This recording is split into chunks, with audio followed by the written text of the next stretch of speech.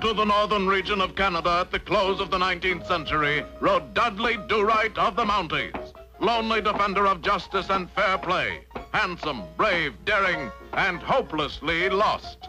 These service station maps are impossible. Can't even fold up the thing. I think I should have turned left at that last tree. Meanwhile, a short distance away, Snidely Whiplash was up to his favorite pastime, tying women to railroad tracks.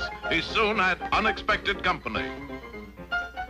Mountie. Correct. Pardon me, sir, but do you happen to know the way to the Royal Canadian Mountie Camp? Why, yes, I do. Oh, this pesky knot. Could you give me a hand, or rather finger? Always willing to help a citizen in need. There. Dudley Do-Right to the Mounties. Get out of that if you can. Oh, fudge. Meanwhile, Nell Fenwick, the beautiful daughter of Inspector Fenwick, was out gathering chestnuts. Suddenly, she stumbled onto the biggest nut of all, Dudley Do-Right. What, Dudley Do-Right, are you doing with that other woman? I thought you always did right. I was doing right, Nell. That's how I got in this predicament. But could I tell you about it later? I think there is a train approaching. And so, Do-Right, there's a fiend running loose in northern Canada. A fiend, Inspector? A fiend who goes about Canada tying defenseless women to railroad tracks. Oh.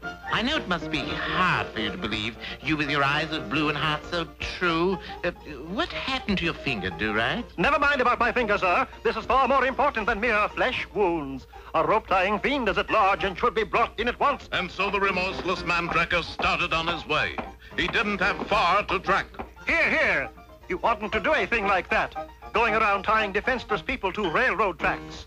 It's not the Canadian way. You think I'm not trying to stop to stop tying? I'm hooked. It's a habit with me now. I swear to you, after I tie up this one defenseless woman, I'm going to swear off, so help me. Could you just put your finger in this knot? Well, if you think it will help you kick the habit, Oh, it will, it will. there. yeah. Curses. Foiled again. Hey, that's my line.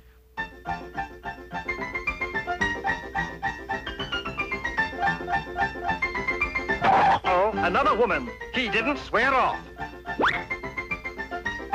A man. Confound that whiplash. Nell. Inspector Fenwick. Snidely Whiplash. Snidely Whiplash?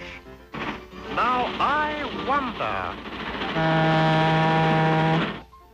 But Inspector Fenwick did not get his nickname of the Canadian Fox for nothing. Now, all of you have heard the old proverb, if you give a snidely enough rope, he'll put his foot in it.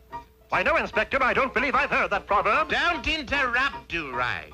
We're going to use deception. We're going to disguise you as Nell. Me, sir? With those baby blue eyes, you are unnatural. True. What the inspector didn't know was that Snidely, realizing that the heat was on, disguised himself as Nell. Dudley, where are you? Nell, you heard your father's plan. Go on back to camp. You'll give the whole thing away. Nell. Nell, what are you doing? Nell, this is no time for hijinks.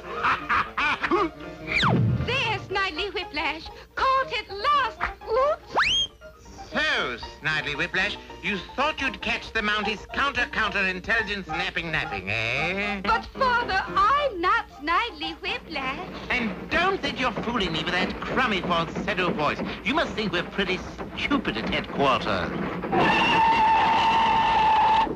Hey, buddy, don't leave stuff laying around in the tracks, huh?